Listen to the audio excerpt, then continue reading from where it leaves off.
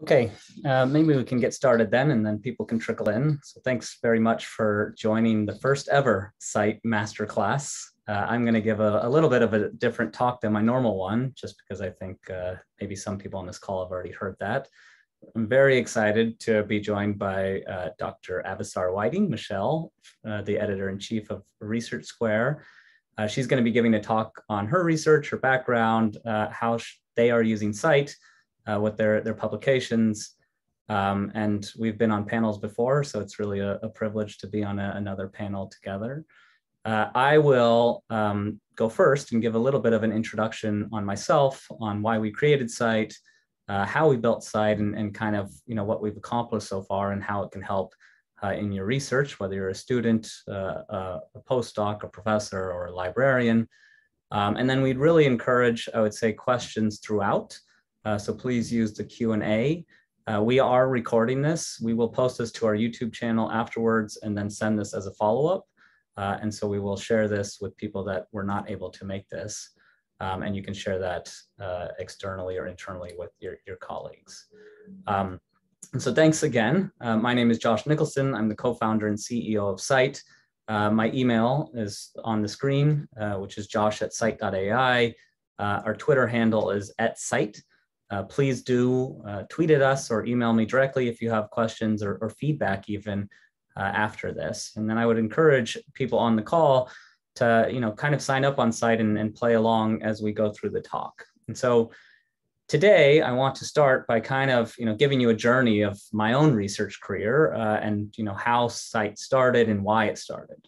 So about seven years ago at this point, most of my time was spent creating movies like this. And so I did a lot of microscopy looking at cancer cells, non-cancer cells, and human cells dividing. And so you can see the, the chromosomes uh, dividing uh, in, in the mitosis here in this image. And so I was, you know, uh, uh, uh looking at, at cell biology, uh, but I was also thinking about how we are funded, how we publish our research, uh, and all these things that are sometimes seen as you know kind of extracurricular to research uh, you know I, but i think is integral. And so during this time when i was looking at you know these these chromosomes dividing a, a paper came out in nature uh, back in 2012 this nature commentary got a lot of attention including attention from myself. Uh, and what it looked at was over the course of you know about 10 years uh, researchers from Amgen a large pharma sought to reproduce uh, major uh, cancer findings. So they took uh, studies from the literature uh, and then spent a lot of money, a lot of time first trying to validate them in-house before trying to you know, develop drugs based on them. And so the findings were pretty shocking because what the Amgen paper found, and so the one on the right, was that you know out of these 53 major cancer studies, and these are you know not kind of studies that no one's heard of, but really major ones, 89% uh, could not uh, be confirmed. They could not be reproduced. Um, and this, you know, built upon previous research that was also done at Bayer, looking at the reproducibility of biomedical research, not just in cancer, but a- across different indications. That was not so, you know, drastic, but was still a bit shocking. And so, this, uh, amongst other nonprofit initiatives in psychology, machine learning, neuroscience, uh, you know, started to get a lot of attention around reproducibility. And so at that time, uh, I was still a grad student, still looking under the microscope at cells dividing. Uh, I did what I was doing kind of on the side and what a lot of academics do. I, I wrote a paper. Uh, and in this paper, I proposed this new metric or this new measure of scientific veracity, which we called the R factor. Uh, and funnily enough, I, I published this on uh, actually a precursor, I would say, to a lot of uh, preprint repositories called the Winnower. Um, in this paper, we suggest uh, that we should introduce some measurement of quality, of reproducibility, of veracity, so that people could be rewarded for this. So not just you know publishing uh, in, in the best journals and, and getting you know the highest citation rates, but really trying to indicate has this study been validated in the literature by others. Um, I would say uh, you know, our, our initial aim or thinking was that we couldn't even do this. And so we suggested that groups like Elsevier, Thomson Reuters, some of these nonprofit initiatives, uh, or NCBI do this. Um, ultimately, that's not the case. Uh, we decided to kind of work on this uh, on the side and then, you know, in a, a full capacity. And so we have really built, you know, site to make research uh, more reliable. And I think that's important because research doesn't just inform cancer research or psychology, it really informs kind of every aspect uh, of our lives that you can think about. So financial research, policy, social sciences, humanities, all these things, you know, ultimately are grounded kind of in, in research. Um, and so we want to make sure that it's reliable so that we can build off of each other's findings um, and, you know, make more effective drugs, make sure we're, you know, uh, following the right policies in, in terms of how we govern ourselves or in terms of how we live as, as individuals as well. So we also built it to, to make research more understandable. And so I'd say our aim has not just been, you know, it was initially started at reproducibility, but it's broadened a bit since then uh, as we spoke to researchers and as we've, you know, started to develop the tool. And so we think, you know, a part of this reproducibility or, or making research more reliable is, is helping people to understand it. And I think that's increasingly important uh, as there's more and more research, uh, you know, every day than there was previously. Um, and it's increasingly interdisciplinary. And so it can be very hard to understand, you know, these different fields. And I can tell you, you know, I am an expert at chromosome segregation, but if I look at another scientific paper, you know, I'm forced to rely upon a lot of the proxies of quality that, that we have today.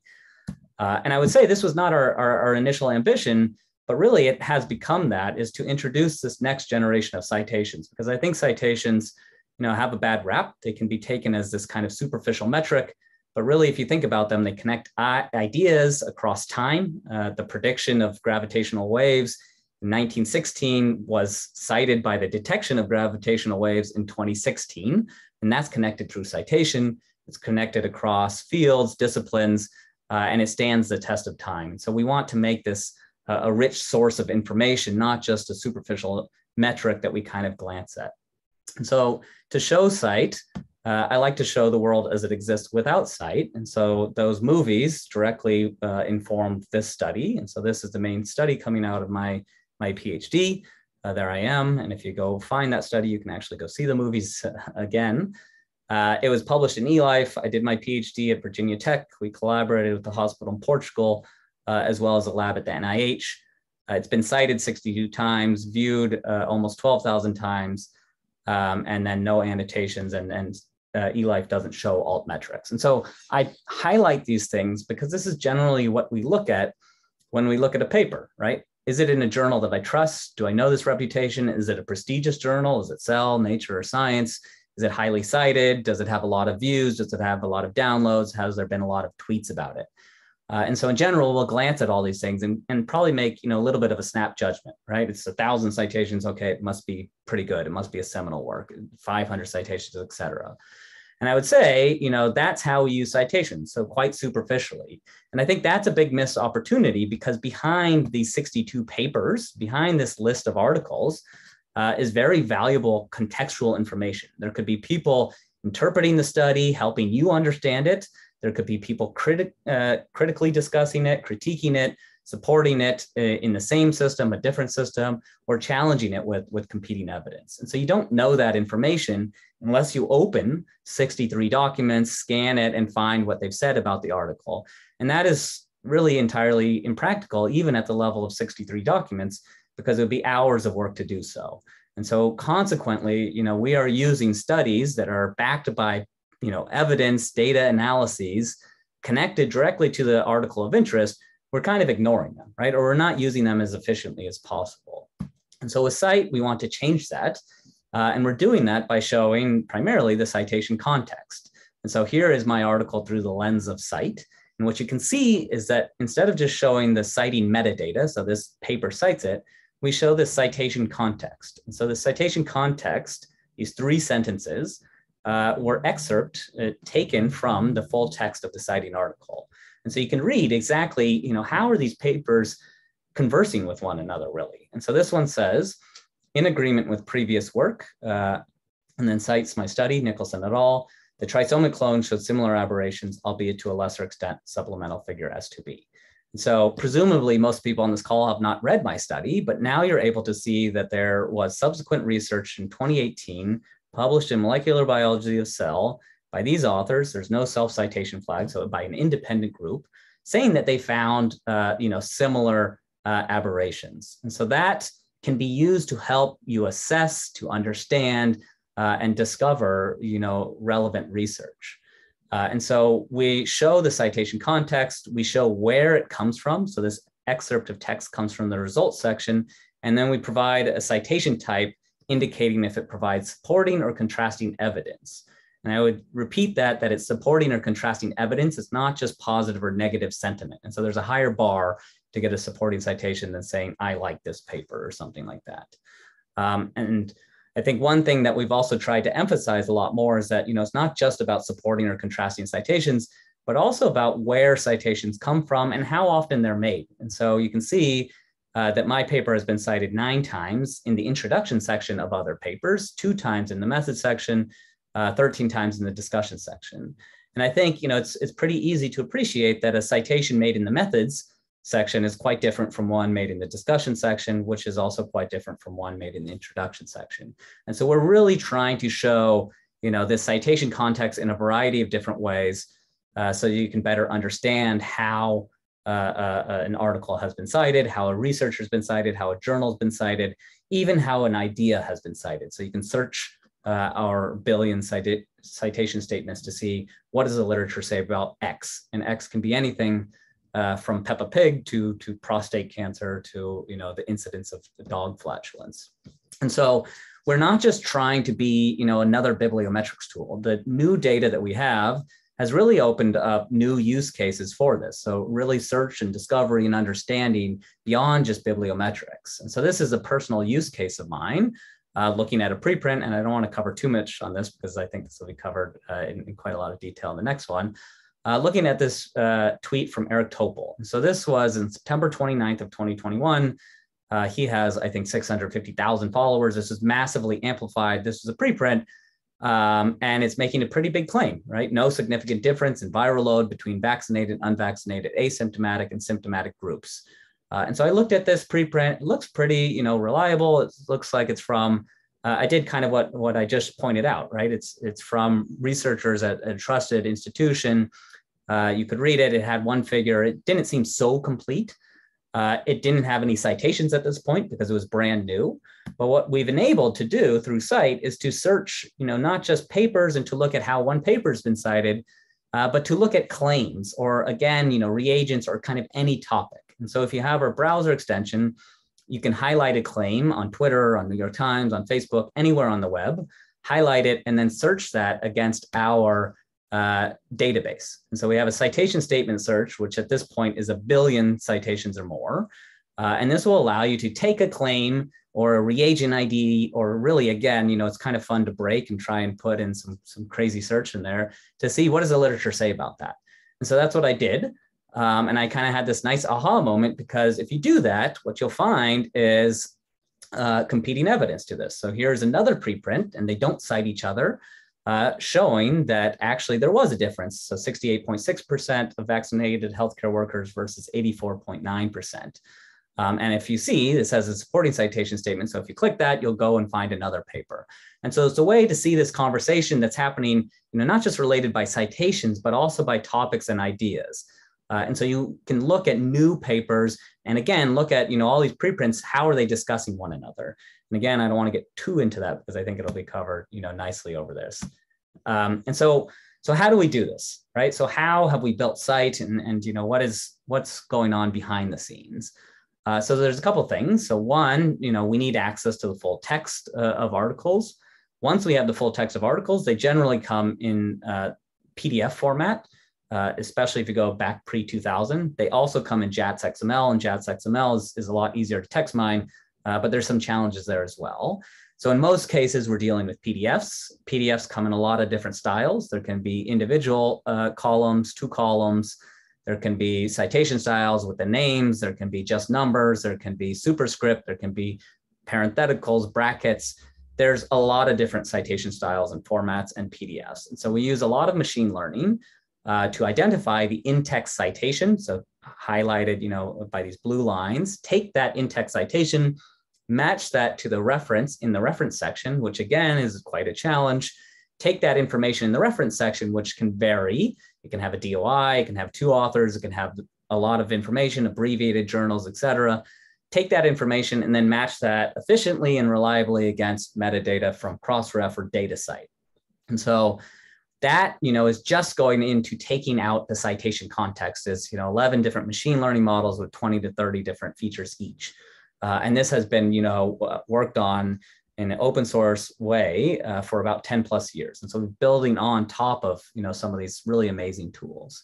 Once we have that citation context so that three sentences we then have a deep learning model that classifies that statement as providing supporting uh, contrasting uh, or mentioning uh, and so that the way that we've developed that was as experts, so members of the team with MDs or PhDs across different disciplines, was to read roughly 40,000 different citation statements and say, okay, these are authors are citing this paper because they're supporting it and they have evidence to support it, or they're contrasting it and they have evidence to contrast it, or they're just mentioning it. And so we annotated all these different ways that you know authors cite this, and then have fed that to a deep learning model that will classify these citation statements at scale.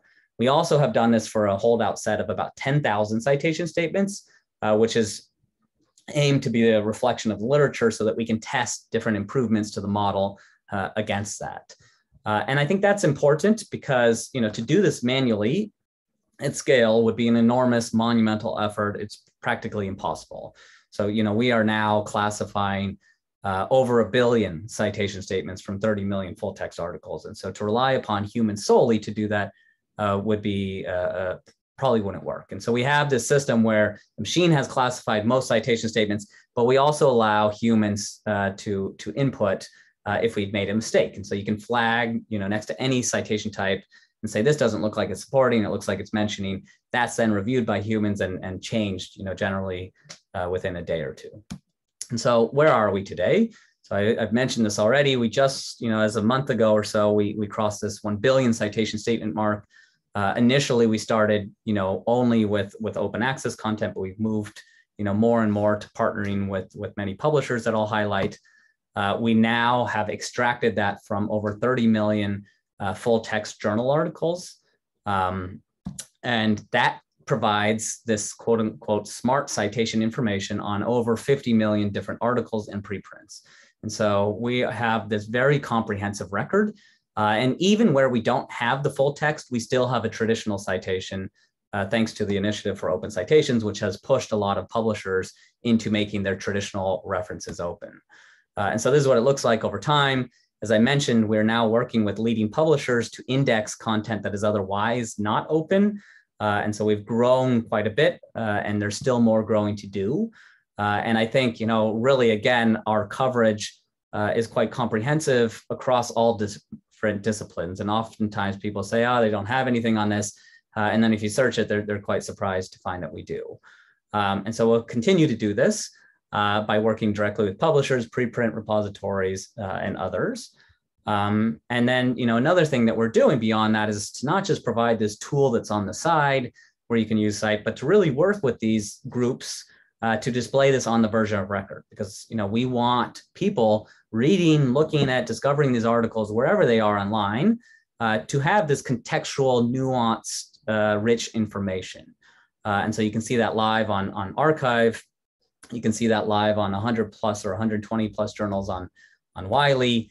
Uh, we're live on Royal Society, uh, live on you know the American Physiological Society, uh, and we've just recently uh, gone live on PNAS. And so here's you know a GIF showing this uh, uh, and showing the citation statements made available on PNAS. And so really this gets to kind of that last slide that I showed of, of trying to introduce this next generation of citation metrics or next generation of citations to provide more nuance, right? I, I, think we want to go beyond just here's something you glance at to something that you can really engage uh, engage with.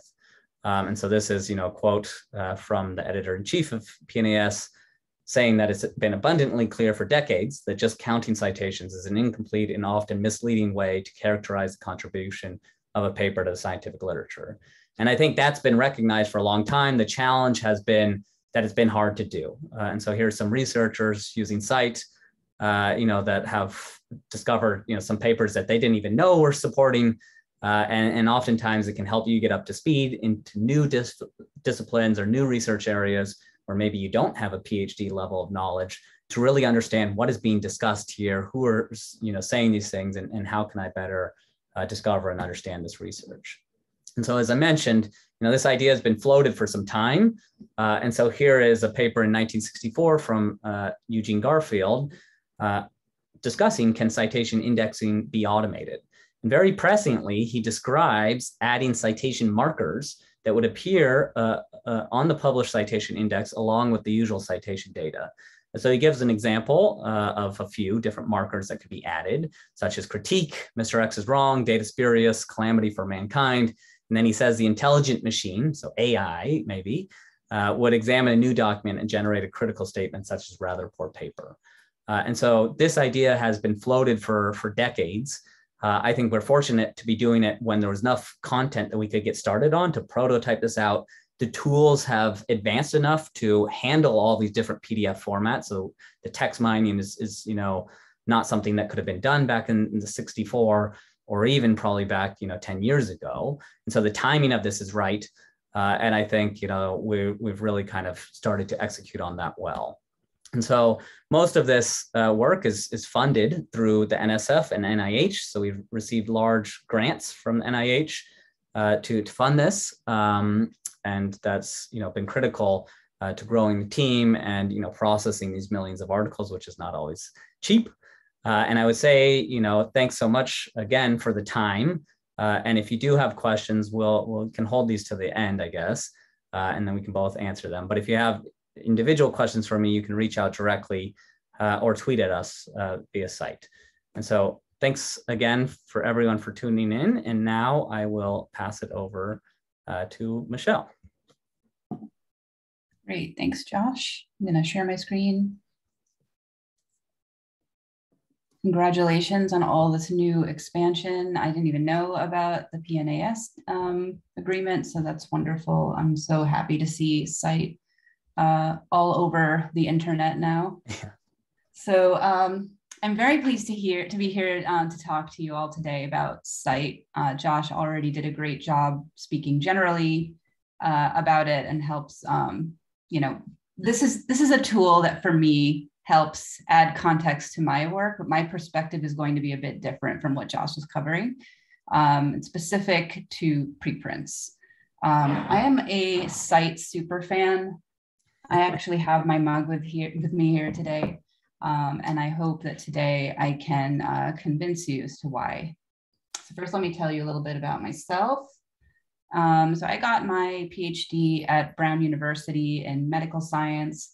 I used to study epigenetics um, of cancer and exposures, kind of the, the cross section of epigenetics, cancer, and toxicology.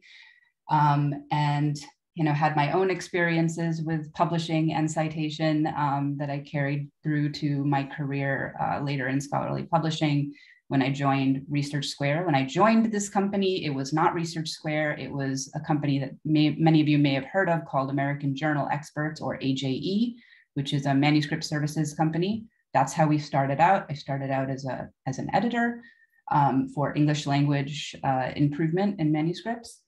And later on in my career, I ended up getting involved with the creation of a new platform for post uh, for pre-publication sharing of papers. We didn't call it a preprint server at first. Later on, we uh, realized that this is the only terminology that people really understand. And so it became the Research Square preprint platform pictured here. Um, and later on, I became the editor in chief of this platform, starting out uh, first in operations and moving into editorial. So now my experience with publications and citations is kind of meta.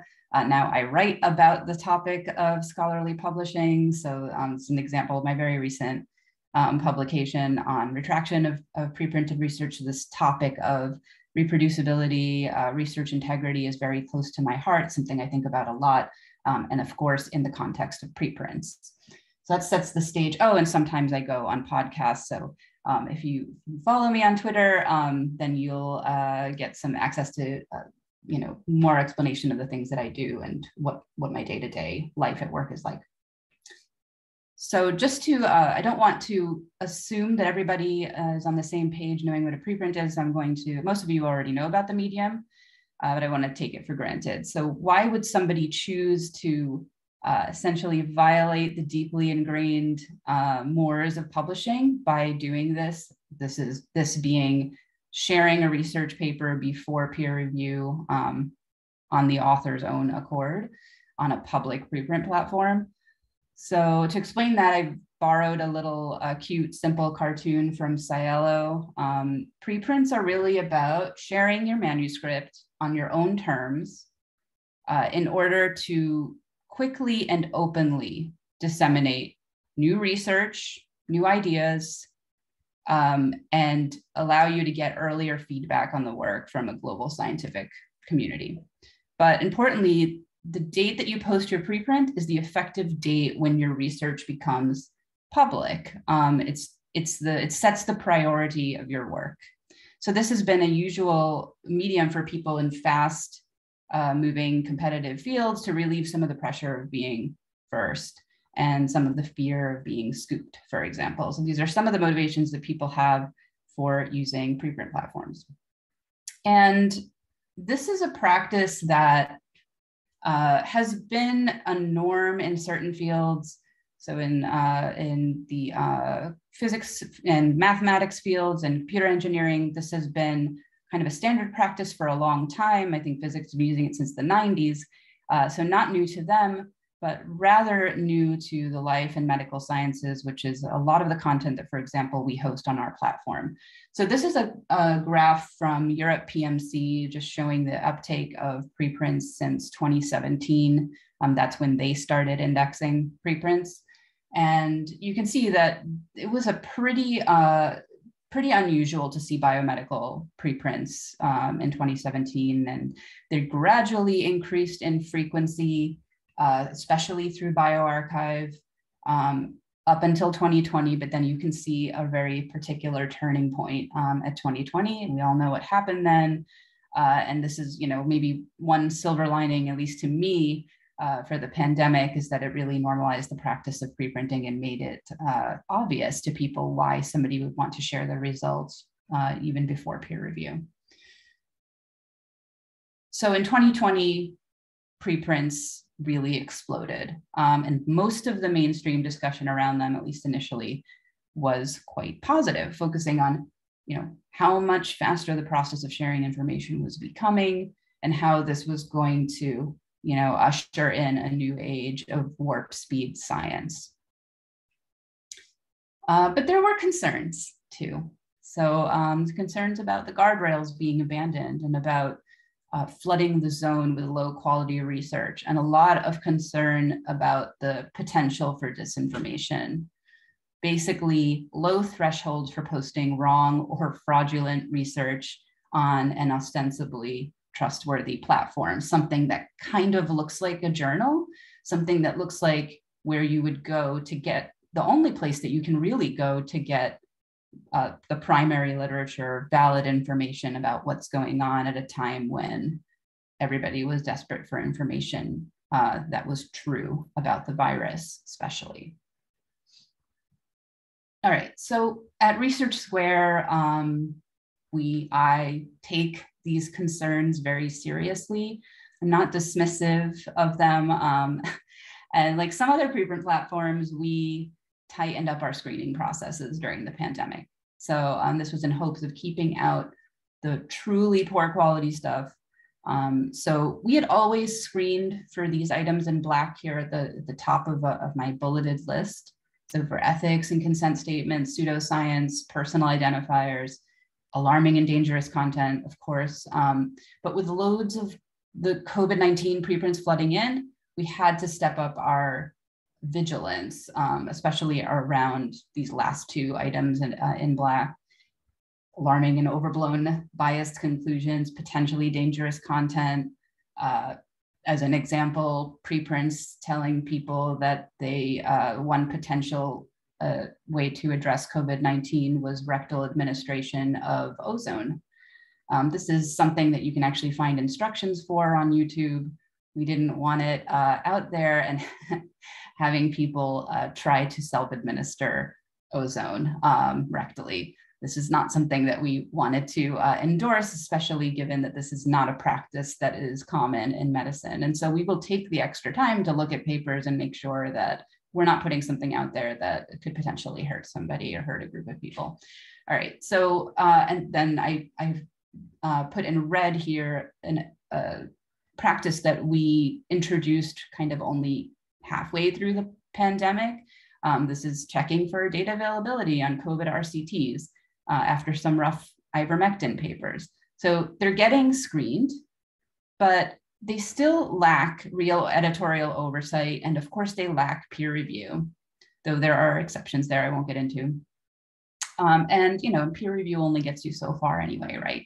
Everybody knows that even peer review cannot safeguard against all research that is wrong or fraudulent, um, and preprints don't even do that. So, in addition to tightening up screening, our emphasis went toward looking for ways to introduce context into preprints, um, such as the addition of lay summaries um, on preprints that you know were consistently being misunderstood, and also ensuring that if there was some substantive critique or endorsement of the work somewhere online, that it could be pulled in somehow, linked in some way to the preprint.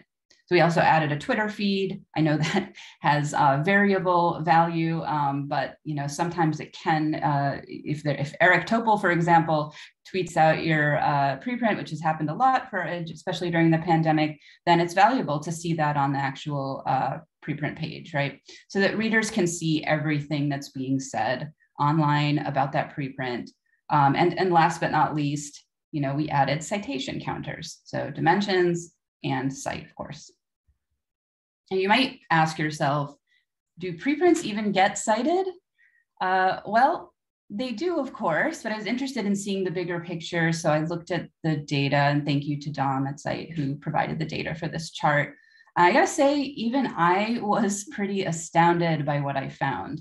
Both Research Square and Center for Open Science um, preprints get cited, of course, at this point, thousands of times a month, which in itself is pretty impressive given that you know there's been a lot of doubt and skepticism about preprints and whether they should be cited um, but that's what we have so people are citing them uh, but the the preprints that bioRxiv and medRxiv represented here as CS, csh which is cold spring harbor uh, laboratories um, get cited now over 20000 times per month which I'm certain is more than many journals uh, by my math, just my little poking around on scite I think it's even competitive with some mega open access journals. So the answer is yes, they do. So Research Square displays scite alongside a number of other metrics um, and badges that are kind of meant to, again, provide some context about really the reception of any given preprint. So you might look at the altmetric attention badge and understand that, you know, it, this preprint is getting a lot of mentions on Twitter um, or in the media. And you might see that it's been cited by 22 publications um, by looking at uh, dimensions badge. But with scite, you get a whole different level of resolution regarding where and how this preprint has been cited, because it pulls not only the number of discrete citations, but also the sentiment of each one of those citations, which starts to paint a picture of how the scientific community is regarding this work.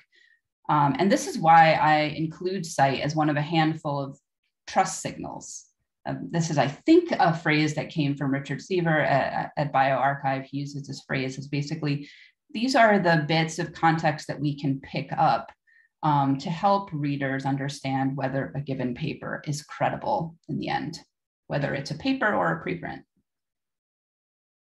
So here's what scite looks like um, in situ on Research Square. Uh, on a particular Research Square preprint, this is one that had, you know, a lot of attention during the pandemic. And you can see um, the richness of information that's offered here relative to like a basic citation count. Of course, um, Josh covered this in depth. This is information that researchers should really care about because a citation alone, of course, is not always an endorsement. Uh, sometimes people are calling out papers whose results contradict their own, and more often than not, they're just referring to them neutrally. So when they do exist, um, you know, when when there are confirmatory citations that exist, that is something to pay attention to because it might say something about the validity or the replicability of the study. You really have to look at the citation in order to know for sure. So I wanted to show a couple of case studies here, um, both from the pandemic, um, both from pandemic preprints, of course. So this one came very early on in March uh, 2020, when we all, uh, you know, just started using masks regularly, and there was a lot of debate as to their effectiveness um, in blocking the transmission of the virus. And this paper was getting a lot of attention online, just to, you know, given the importance of the topic and we ended up working with the author to create an infographic. We thought this topic is really important. We got to get it out there and make it really accessible to people. So we worked with, with them on an infographic graphic that you can see on the left here. Um, and ended up getting published in Nature Medicine really quickly. I mean, I show the timeline here on the right, so you can see that, of course, during the pandemic, that that uh, cadence of, of publication was really sped up. People were fast tracking these kinds of papers to try and get the, the information verified and out there as quickly as possible. But what we saw was that citations started to accrue to the preprint literally within days and weeks of it posting. So this is just uh, this is just a smattering of them. A lot of the papers referencing it this quickly were actually preprints themselves. Um, this is a few examples. All of these citations that I'm showing here are pre are from preprint servers. So of course, with scite, you could see not just the fact of those citations, but with a simple click, where they were coming from and in what light they were discussing the paper. So it was really fascinating to essentially watch science communication literally speeding up before our eyes, because of course, this sort of cadence of citations was unheard of before this. Um, and so now you have, even before the official publication of the paper, some trust signals to allow you to form an opinion on the credibility of the work. This is another case study, this last one. Um, this is a preprint that came to us in April last year, 2021. Um, right after the initial panic, you'll all remember about the thrombotic uh, event, thrombosis events that were happening following the AstraZeneca vaccine uh, for some minority of people. And here, uh, this is one of these cases where I ended up on the phone with the author, you know, over a weekend saying like, I'm nervous about this because, you know, we're, we're essentially now we're putting, we're putting the nail in about this is actually, a, this is not just an anecdotal thing. We, they're saying we now understand it. We know that it, it is the vaccine causing this event. And now we think we have an idea of why. Um, this, of course, makes me nervous because this is a time where we're trying to get people, uh, you know, to get, we're trying to get the world vaccinated and get this thing under control. And so anything that casts any doubt on vaccines is going to be a little bit of a concern, especially for a preprint server when we're trying to avoid, you know, putting misinformation out there. So it's like, you know, help me out here. Let's put um, an editorial note on the preprint, make sure that people know um, you know that you're not dissuading trying to dissuade people from getting the vaccine you're saying we now understand what's happening here and we can actually take some action around it. Um, so, all right, so this study is working toward an explanation for what's going on so we can get ahead of it and minimize the risk. And uh, this one also ended up getting published in New, uh, New England Journal extremely quickly. But despite that, a surprising number of citations accrued to the preprint. And with scite, I could see that one of them actually used the findings about the mechanism to uh, uh, the mechanism around the, the, disorder to successfully treat the same condition. You can see that publication up here on the right. Um, and then you'll see that as time went on for the journal publication, of course, the paper received a lot more confirmatory citations. This is something that just happens over time. You know, people, it takes time to reproduce it or to, to do corollary studies that end up supporting the findings of this study. Um, and again, growing the level of confidence in the findings of the study. So I'll leave you with this quote um, from the great Ed Yong, one of the uh, favorite lines from one of the many beautiful um, op-eds that he wrote during the pandemic. Uh, science is less the parade of decisive blockbuster discoveries that the press often portrays, and more a slow, erratic stumble toward ever less uncertainty. Um, we don't have many tools at our disposal, and certainly very few automated tools speeding up or easing this stumble toward ever less uncertainty. But in my opinion, that's exactly what scite has been. Uh, so thank you, Josh, um, and, and to everyone on the scite team for, for this beautiful software. And, and thank you for listening. Yeah, thanks so much for that amazing talk and for taking the time. Uh, I too also learned more, and it's nice to see kind of case studies. I had looked at preprints, uh, you know, anecdotally, just trying to find kind of the citation lag amongst some of them, and some we found down to like a few days. And right. so that was really cool because you think of citations generally as, you know, accumulating after months or years, and certainly that happens. But to see, you know, in real time, kind of how these preprints are discussing each other within five days, sometimes challenging one another, sometimes supporting, sometimes just referencing it, uh, was really powerful. And I often think that, you know, that in itself is a form of peer review, right? That meant the person read it, they engaged with it. Arguably, you know, maybe it's even more. They're attaching kind of their name to it. Uh, yeah. and so I think, you know, it really kind of helps. What do peers think about this paper? Uh, and not what do they think behind closed doors that no one can evaluate, but what do they think that you can look at and, and see if there's there's data behind it. Um, and so I think preprint citations and preprints you know, again, kind of as a source to search from is, is uh, you know, something that will become increasingly, uh, you know, even more so than it is now uh, standard uh, and will be really interesting to follow. So thanks for that. Uh, it looks like we have some time for questions and it looks like there's quite a few questions uh, in the Q&A. So thanks everyone for, for listening in. Uh, I will just read these out loud uh, and then answer them out loud. If you have any questions, please use the Q&A uh, to, to ask them and, and we can keep going. Um, so the first question uh, talks about you know how rare contrasting sites are. So I, I, use scite yet rarely find contrasting sites even though I know they exist. So this is a great observation, Jack. Um, what we have found, you know, when we manually as humans, so forgetting the, the machine learning model, uh, when we looked at these 50,000 citation statements or this 10,000 holdout set, we found contrasting sites to be quite rare right? And I think that makes sense if you step back and think about, you know, the publication process, the funding process, the peer review process, and the incentive structure, right? Are you rewarded for challenging your colleague, uh, you know, publicly and saying, I found something different? Uh, and so the literature is biased. Uh, there are, you know, it, according to our analyses, about, you know, less than 1%, 0.6% are contrasting.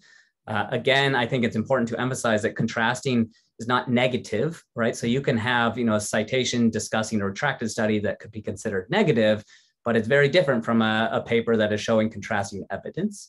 And so they are rare. And I think that's a reflection of the fact that you're not rewarded for calling out people. And, you know, oftentimes that's done kind of, you know, uh, uh, away from the publications. And that's one thing we hope to encourage is to get more debate because I think, you know, it's, it's quite healthy to have debate uh, and we'd like to encourage more of it by making it easy to surface and easy to see. Uh, and so they are rare. Uh, so that's a, a, good observation. The next question is a, a, philosophical question. How does the work you do impact the world at large? Uh, well, I think research, again, you know, informs nearly everything we do.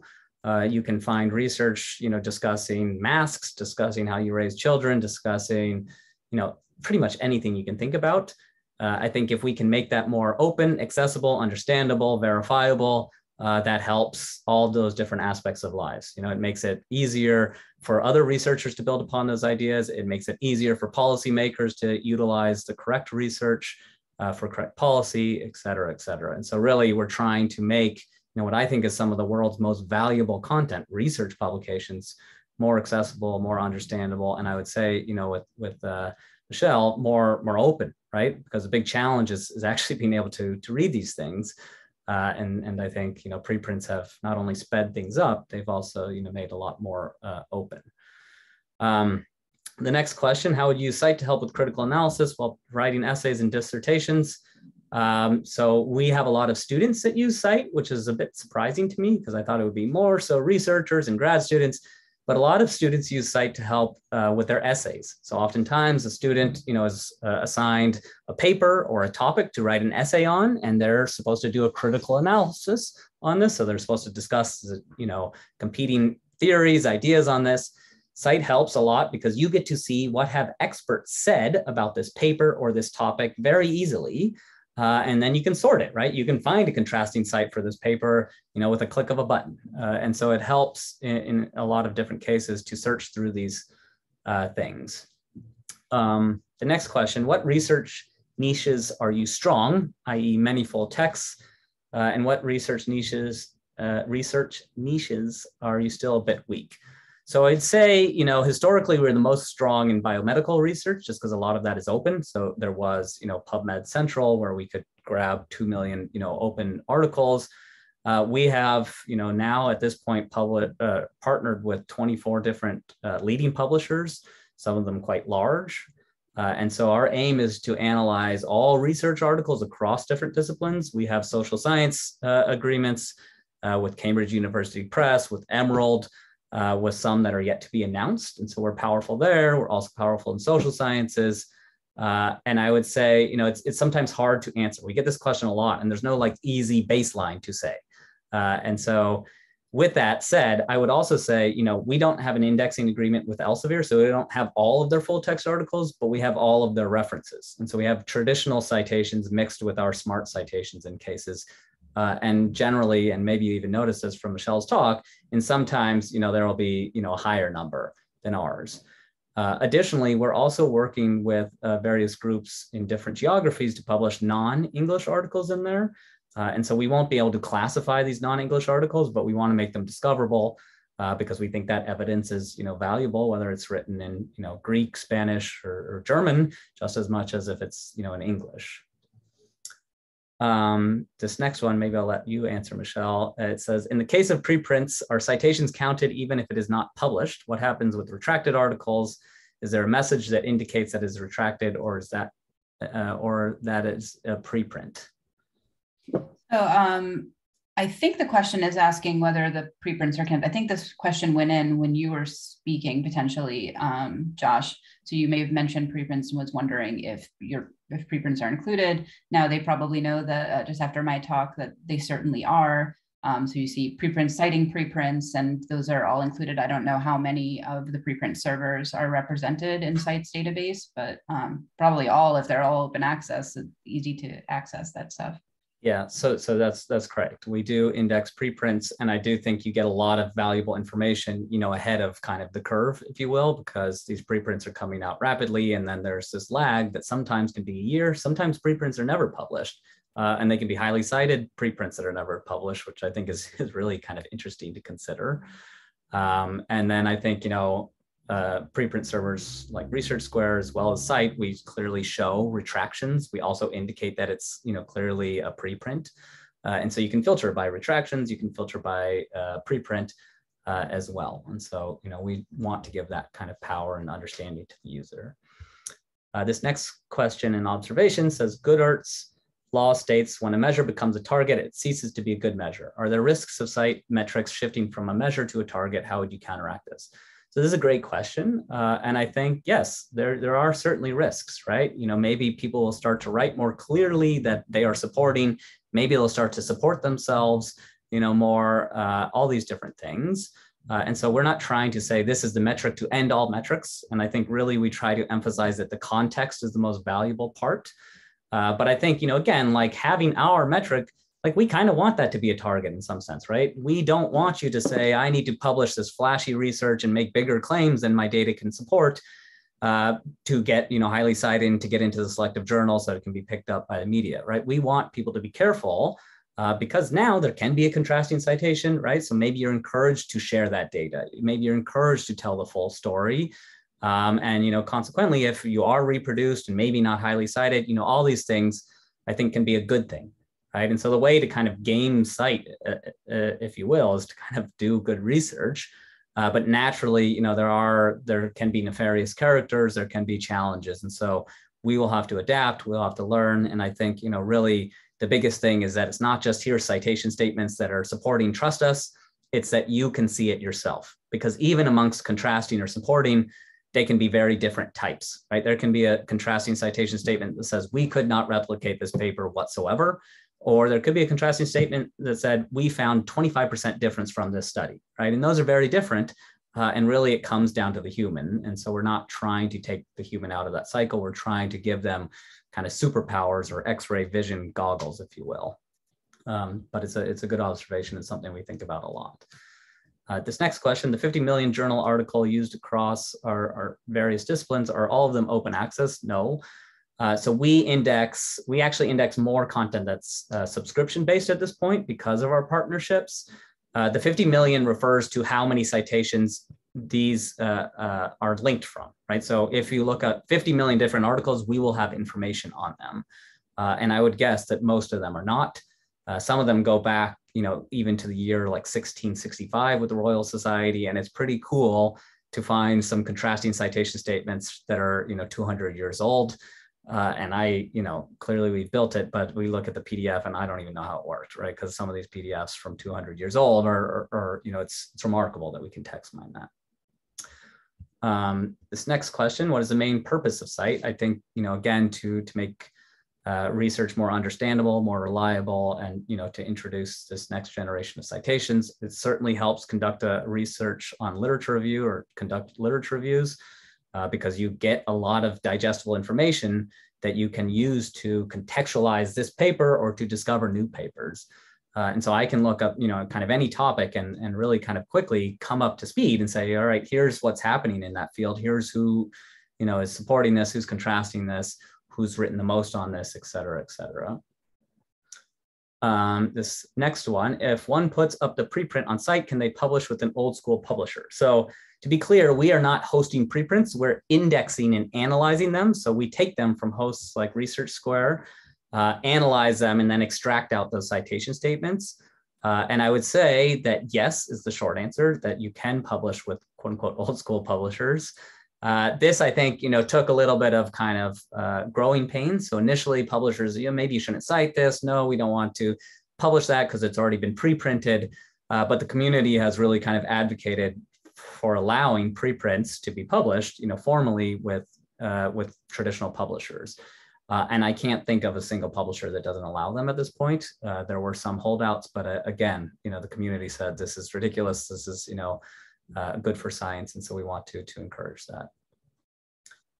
Um, here's another question. You mentioned self-cite during your presentation. It was a pleasant surprise because I had been using the visualization map before to have a glimpse of self-citations as a hallmark of possible fraudulent predatory publishing. Sadly, I'm just trying now. So I think this is an interesting thing. So self-citations uh, we do have because you know me supporting myself versus a group you know independent supporting is, is can be different. But what I've also kind of found really interesting about self-citations is those self-citations that are contrasting right? And so contrasting is not a negative thing that you should avoid at all costs. And some people might write into us and say, uh, you know, I don't, none of my work's ever been contrasted. And, you know, I think people should think maybe more than 15 seconds before saying that, because think about that, right? You have never published something that has been contrasted, including by yourself, right? You should be growing, understanding, changing your thinking. This is what science is supposed to be. It's not about publishing trophies that you defend at all costs and you know kind of used to promote. And so what i found is researchers that self contrast their previous work i really tend to trust them right? They are saying we found a difference uh, in our previous study and they're acknowledging that versus someone that's kind of ignoring it and have said these things. And so i think it's you know it's not that supporting is good contrasting is bad this one-to-one relationship. I think it's you know trying to make all this information more accessible to researchers and individuals and humans uh, to, to understand. Um, and so I do think, though, however, this could be used, right? Like if you're looking at uh, self citation rates that are exorbitant, like 90% of a paper, right, that could indicate fraud. Uh, and we do have a reference check that starts to show some of this. We haven't like quantified that, uh, but I think that's that's something we could start to look at. Um, uh, on, there's a question about a premium feature. So scite is not free. We are trying to build, you know, a, a sustainable business, and we charge uh, for access to to scite. Uh, with that said, you know, we do give free trials to universities, uh, and we work with individuals generally to to set those up. And so, you know, we want scite to be as accessible as possible, while you know making sure we can still keep the lights on. Uh, and so, you know, if you are at a university, please encourage your librarian to reach out to us uh, and we can set up a free trial. And we think it's pretty affordable, you know, if that trial is successful. uh, especially compared to, to, to some other tools. Uh, another question, is the code freely available? The code is uh, partially available, it depends. So we've written a paper actually published describing in detail the precision, the recall scores, uh, making uh, various aspects of code available. So the processing of PDFs is available. Uh, this one code base called Glutton, which matches that reference string against metadata is available. Pretty much everything's available. We use uh, a deep learning model called SciBERT, also available. Uh, our training data is not fully available. Um, and that's just because, you know, we, we again, don't want to kind of give this away to, to large competitors that we deal with. Uh, but we try to be as open as possible so you can access this. And if you go to scite and go to the resources section, you can find that paper. It's open access, so you can read it, uh, and it will link to the various repositories for the code. Um, and so again, you know, this is another question asking about the performance of the classification model. Uh, again, that's in the paper. Very generally, uh, the precision score of uh, uh, contrasting and supporting is higher than 0.8. So it's 0.8 and 0.85. Uh, meaning, you know, if we present you about 10 uh, of these different classifications, eight are going to be true. Um, again, also, you know, it's not perfect and it's never going to be perfect. Uh, it's critical that you can read that citation context yourself and you can provide feedback into the system. So we have humans correcting some of these things uh, and not just correcting it for themselves, but correcting it for, you know, all users of the platform. Uh, how do you decide what type of citation it is? So yeah, again, this uh, is looking at you know a lot of different things. It's it's a challenge. It's looking at the structure of the sentence where that uh, citation statement came from. So you know supporting citations are generally not in the introduction. Those are more so mentioning in passing but they'll be in their uh, discussion results uh, etc uh, and so again this is really looking at the rhetorical function and it's been trained on uh, uh, you know roughly 40,000 manually annotated citation statements and so it's it takes into account like 10,000 different variations of each word, the structure of this, the sentence, uh, and there can be challenges, right? There can certainly be challenges with, you know, even just segmenting sentences because scientific papers have a lot of scientific notation in it. Uh, they have, you know, a lot of different uh, formats, et cetera, et cetera. Uh, next question, a major value is the ability to see snippets of full text that provide citation context, especially in cases when you don't have subscribed access to the entire article. However, I'm wondering what one can do to convince faculty and researchers that the time to learn scite saves them time, i.e. they may ask, why wouldn't they just look at the citing articles without the contextual snippets? Is the additional time to learn scite going to pay off versus just doing what they already do? So I think what scite is introducing is, is something new, right? Like I, as a grad student, didn't look at a paper and then look at 60 citations, right? And clearly I like and care about citations. So I think people just don't really engage with citations, maybe when they're doing literature reviews and things like this. But I think they're used very superficially, and I think they're used mostly as numbers, right? Okay, that paper has been cited 500 times. There's no way I'm going to open 500 papers and see what they've said. But with scite, it's because it's so easy to do. Uh, it's almost like a new workflow, right? You can now look at a preprint, you can now look at a paper, and in a click of a button and you know looking very quickly at dozens you can search through them. You can see what these contextual snippets say. Uh, and so it saves massive amounts of times and really i would say kind of introduces something entirely new. And for fun i've tried to time myself you know going through traditional citations opening it finding what it says uh, and you know the quickest you can do it is like a minute or two per citation with scite, you know, obviously that's instantaneous, right? You click it and you see that citation context. And so it's hard to really compare, but if you compare those, you know, it, it saves huge amounts of time uh, and it uncovers a lot of valuable information that is often really just overlooked. Uh, and so, you know, again, that's that's really kind of why scite started is trying to get this kind of insider information that's very valuable, that's buried amongst this avalanche of citations, and to make it uh, accessible. Um, I'll try to go a bit faster because there's uh, some more questions. How much does it cost? If you go to our pricing page, you can see that for individuals. Uh, and then for, for universities, that depends upon the size. Uh, again, we try to work with universities to make that uh, quite uh, affordable. Um, the next question, can you find a contrasting statement only when it is a citation sentence and not when it is an original claim? Um, so I think yes is the answer to this. So you can search our entire database and you don't even just have to use our citation types. You can put, you know, use powerful searches with exact match to say we could not replicate in quotations. So you're going to find people that wrote directly, we could not replicate. And then you can use whatever term after that you want. And so you can kind of use, you know, whatever you think is a, a classifier, just Boolean operators and searches to search through our billion citation statements and then set alerts for that. And so it doesn't just have to be, uh, you know, um, looking at uh, uh, papers or individual things. And I would say, you know, again, a paper can cite another paper multiple times. It can contrast one part and it can support another. So one paper can have a supporting and a contrasting citation statement from the same paper. Uh, and so we are looking at claims. We don't assess what is the main claim of this study or what is the minor claim. We're just showing those different things. Um, this next one, what happens if a paper is checked for plagiarism and it is existing as a preprint? Uh, do you want to take that one? Um, oh, yes. So this this happens quite a lot, actually. Um, a lot of people don't have, or you know, some more obscure journals maybe are not up to date on the fact that preprint servers exist, and so they'll come up with a similarity match.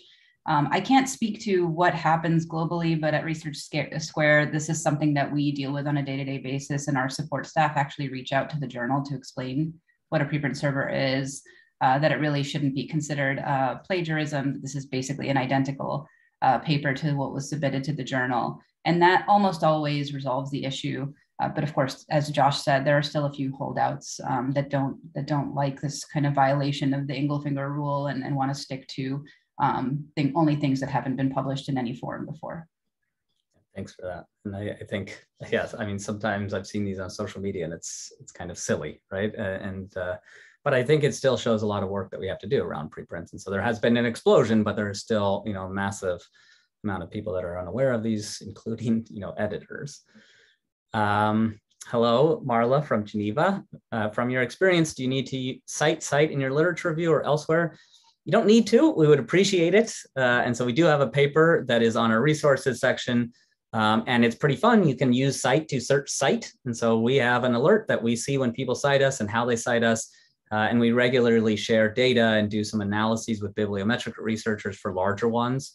Uh, and so, yes, hopefully, you know, it'll be interesting to see how scite, our paper describing scite has been uh, shared over time. Um, and again, that's if you go to our, our homepage and go to the resource section, it'll say how does scite work? And that links directly to the paper. The next question, uh, so looking at the Eugene Garfield paper that I, I linked to, uh, it discusses that there's quite a famous inventory of reasons to cite uh, that go beyond confirming or contrasting previous sources. Do you think in the future, the development of more advanced deep learning algorithms could capture the nuances of Garfield's classification? So this is a really great question, right? So mentioning are not all the same in our bucket. They could be a lot of different things. Uh, and so, you know, I don't think it necessarily has to be deep learning. So we have citations by section. And again, you know, citation appearing in the method section versus introduction section. There's no deep learning to classify those things, but those are different types already. And so we try to kind of emphasize beyond just supporting and contrasting that you can also look at, you know, the sections and you can also search them. And so I do think there, there is more work that we're doing. I do think there can be more automated typing though in, in the future. We try to not do all of it at once because I think it could be confusing. It can be a challenge for us. It took years to build up that training data. Um, and so we also, you know, what would we do? which ones are kind of more valuable? Should we do critiques or is that too much opinion, not enough evidence?